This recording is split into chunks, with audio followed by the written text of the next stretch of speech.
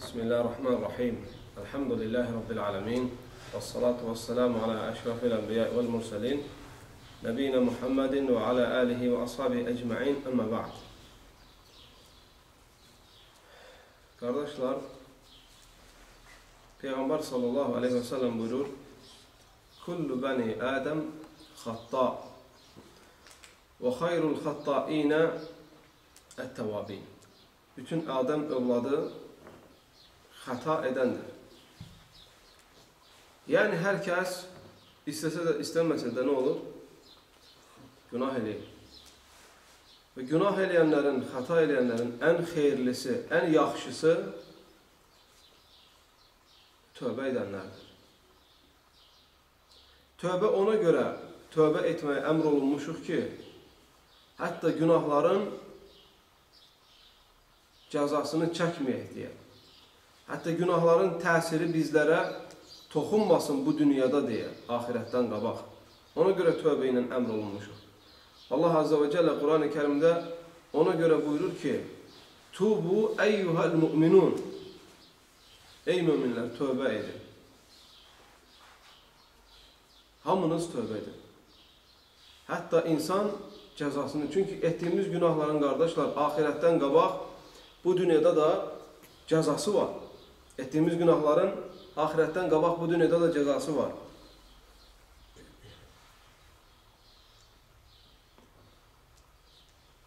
Ona görə elm əhli, xüsusən Şeyx-i-İslam ibn Teymiyyə və İbn-i Qayyim və onlardan öncə İmam Əhməd ibn Həmbəl və həmçinin İmam İbn-i Cəvzi və bir çox zuhd haqqında yazan alimlər qeyd eləmişdir ki, insan günah etdisə, günahkar insanın düşar olduğu bəzi müsibətlər var, hələm bu dünyada. Hələ bu dünyada. Onlardan birincisi, günahların təsirindən günah eləyən insan daima özü ilə Allah arasında vəhşət hiss edir. Özü ilə kimlə, kimin arasında? Allahın arasında, qardaşlar, vəhşət hiss edir. Siz bunu bir düşünün. Nə deməkdir vəhşət? Yəni, sən Allahı sevə bilmirsən. Allahın əmr etdiyi yolla gedə bilmirsən. Allahın əmr etdiyi yol burada qalır, sən başqa yolla gedirsən. Din eşitdiyin zaman qəlbində sıxıntı hiss edirsən. Bu günahların təsirindəndir, qardaşlar. Buna vəhşət deyirlər. Həmçinin günahların təsirindən insan özü ilə salih insanların arasında da vəhşət hiss edir. Baxırsan, elm əhlinin söhbətindən sıxılır, haqdan sıxılır, ayələrdən, hədislərdən sıxınır. Amma bir musiqi dinləyəndə, bir meyxana dinləyəndə, bir aşıq dinləyəndə, bir nağıl dinləyəndə, bir hekayət dinləyəndə, bir anekdot dinləyəndə oturursan, görürsən ki, sakinlik tapır və yaxud da sakin, sakinlik, rahatlıq tapırmış kimi özünə aparır.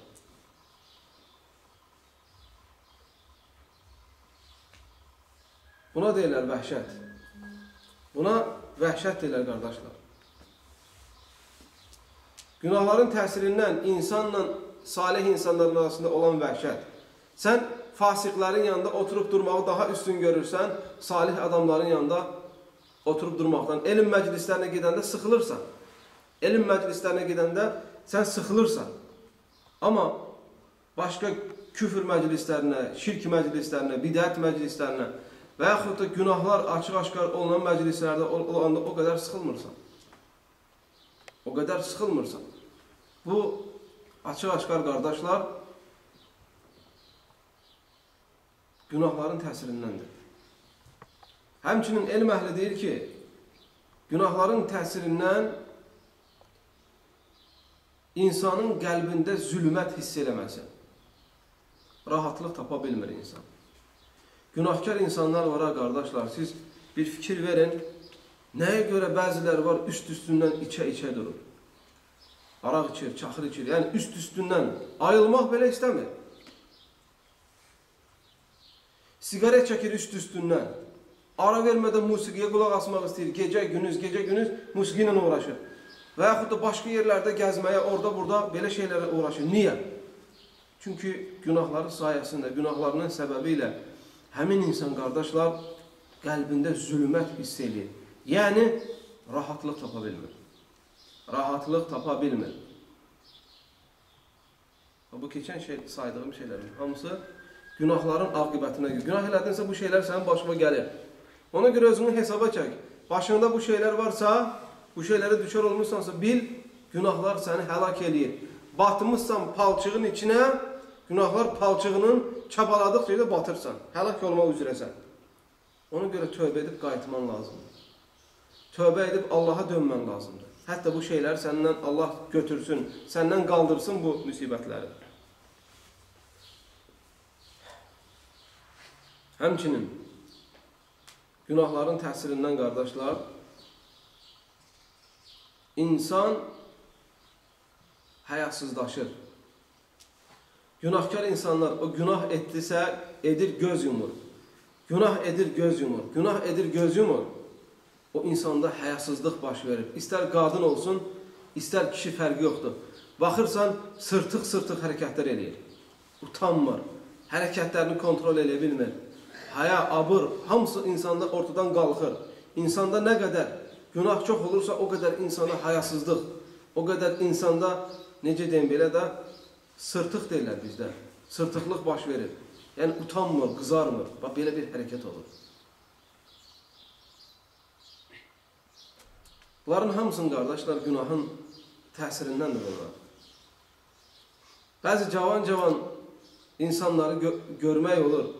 Cavan, cavan uşaqlardır yəni. Elə hərəkətlər eləyir, elə hərəkətlər eləyir.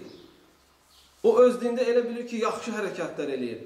Belə özünü centilmen hesab eləyir. Göy müasir gəncdir, özünü, yəni belə deyək, qəribə bir davra, hərəkət, cəmatın içində özünü başqa cür aparmağa çalışır. Özlüyündə super görür özünü, əla görür. Amma gerçəkdə baxırsan, səfihlərin hərəkətidir. Yersiz yerə gülüşlər, yersiz yerə geyinişlər, mənasız geyiniş, geyin, geyiniş növləri, nə bilim, cəmatın içində hərəkət növləri, göz-qaş oynatmaqları və s. Bu gerçək mənada baxırsan səfihlikdir, qardaşlar. Amma problem oradadır ki, o insan günahları sayəsində elə bir hala gəlib ki, hətta bu şeyləri belə, yəni hətta davranışlarını belə kontroldan çıxardıb, həyasız, hə, həyasızlaşıb, sırtıqlaşıb və yaxud da hətta belə deyək ki, ola bilsin ki, axmaqlaşıb. Bunların hamısının qardaşlar təsiri günahlardandır. Bəzi qardaşları biz görmüşük, onlardan aranızda da var. Onların mən çox belə insan kənarı bir hərəkətlərini görmüşəm. İnsan etməyən, belə deyək də, normal ağlı, zövqü olan insanların etməyən, siz gənclərin bəzilərindən danışıram. Görmüşük biz onları bəzi hərəkətlərdə, amma tövbə edib ibadətə qayıtdıqdan sonra həmin insanlardır. Gedib haradasa institut oxumadılar, gedib haradasa nəsə olmadı, sadəcə günahlarından tövbə etdilər, qayıtdılar, baxırsan ki, ondan şahid gördüyün əməllər daha o adamdan bir daha baş vermir.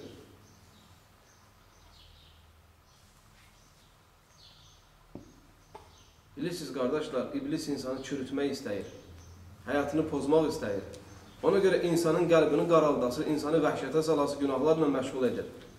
Bəzi cavanları görürsən, toplanırlar institutların qabağında, universitetlərin qabağında. Belə hərəkətlər, belə e,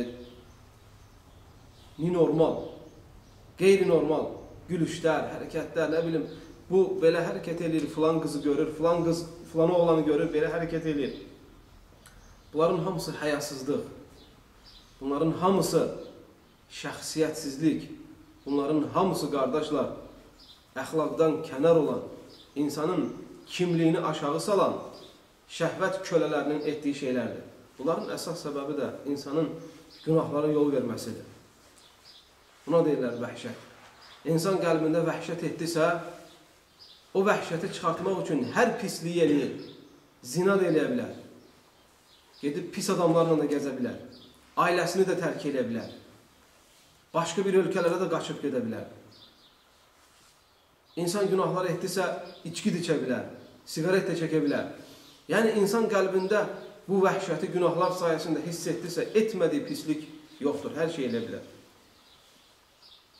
Həmçinin qardaşlar, günahların təsirindən, günahların müsibətlərindən günahkar insan etdiyi ibadətdən ləzzət ala bilmir.